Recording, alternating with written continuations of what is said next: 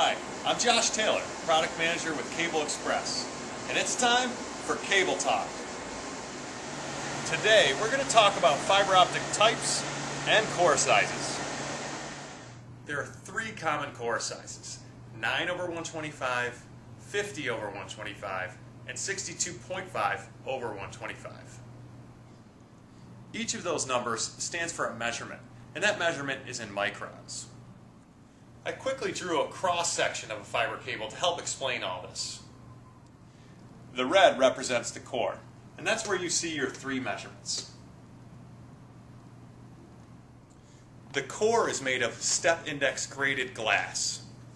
The cladding, shown here in green, has properties to keep the light inside for total internal reflection.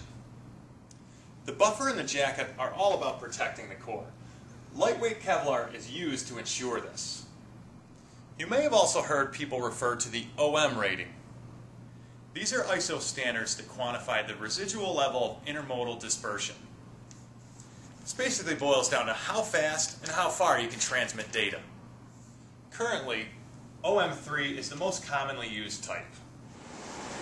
Thanks for watching. I hope you learned something. For more information, visit us on cableexpress.com.